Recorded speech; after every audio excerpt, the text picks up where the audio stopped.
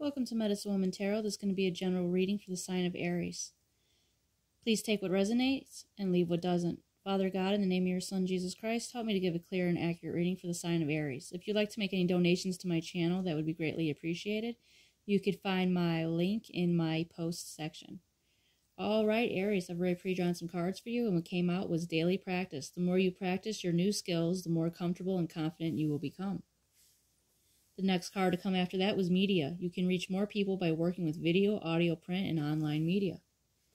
And the last card after that was time management. Place your priorities at the top of your to do list and don't allow distractions to deter your focus. All right, Aries, by looking at these energies here, it's saying, you know, to keep practicing whatever this new skill is that you have. You know, keep um, manifesting it and practicing it, and you will still, you know, every day you'll gain more confidence in yourself in regards to this gift. And media, whatever this gift is, um, you know, whether it's writing or, you know, YouTubing or, you know, videos and audio, you know, online media, it's saying that you could, you know, spread your gift, you know, through these links.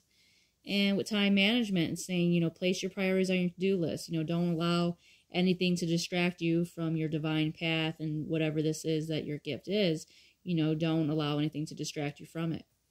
All right, Aries, if this resonates with you, please give me a thumbs up and subscribe.